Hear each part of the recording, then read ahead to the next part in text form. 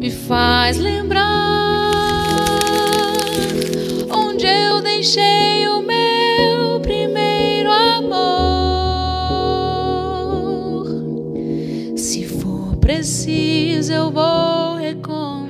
A paz do Senhor, irmãos, que alegria, né? Hoje, domingo, dia 17 de outubro, nossa meditação para ficar aí guardada no seu coração. Hoje, um dia de descanso para alguns, alguns vão até a casa do Senhor, não é? Não deixe de congregar, isso é de suma importância para a sua vida espiritual. O processo de aprendizagem. Quem nunca passou por processos de aprendizagem, não é?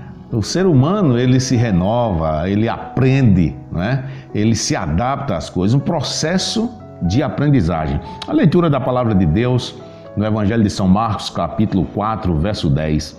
Quando Jesus ficou só, os que estavam junto dele com os doze o interrogaram a respeito das parábolas. Querido, Jesus Cristo tinha a sua didática, como eu sempre digo, a sua maneira de ensinar. E a maneira mais peculiar de Jesus Cristo era ensinar através de parábolas. E os discípulos muitas das vezes não estavam compreendendo as parábolas de Jesus Cristo. Inúmeras vezes Jesus Cristo precisava de fato explicar melhor para eles, né? e esse era o processo de aprendizagem. E eu quero acreditar que você que lê a palavra de Deus, que escuta uma meditação dessa, você está aprendendo. Nós precisamos aprender. No Evangelho não é diferente. E Evangelhos são, a tradução é justamente isso, boas novas. E Jesus Cristo trazia essas boas novas. Muitas das vezes, claro, incompreendido. Em alguns textos, as exegeses não são fáceis, porque era, como eu disse, disse e repito, maneira peculiar de Jesus Cristo ensinar. Porém, todavia, nós precisamos estar com o coração aberto. Quando estamos com o coração aberto, fica mais fácil em todo e qualquer aprendizado. Mas quando já estamos é, tristes, com rancor, com raiva, não tem como aprender. Você entrar numa sala de aula sem gosto, sem vontade de aprender, pode ser o melhor professor do mundo, que você não vai é, captar nada, porque está em você. Então a meditação dessa manhã, desse domingo, fala dessa aprendizagem. Esteja com o coração aberto para aprender as coisas de Deus.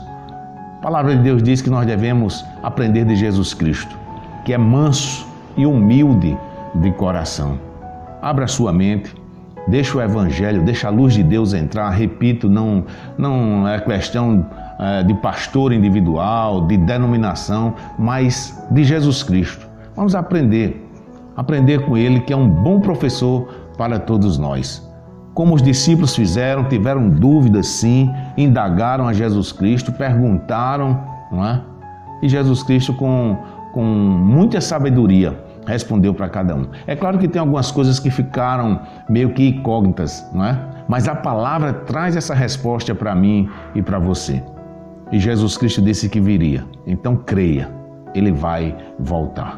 Que Deus te abençoe em nome de Jesus. Me faz lembrar deixei o meu primeiro amor. Se for preciso, eu vou recomeçar. Mas confesso que dependo do Senhor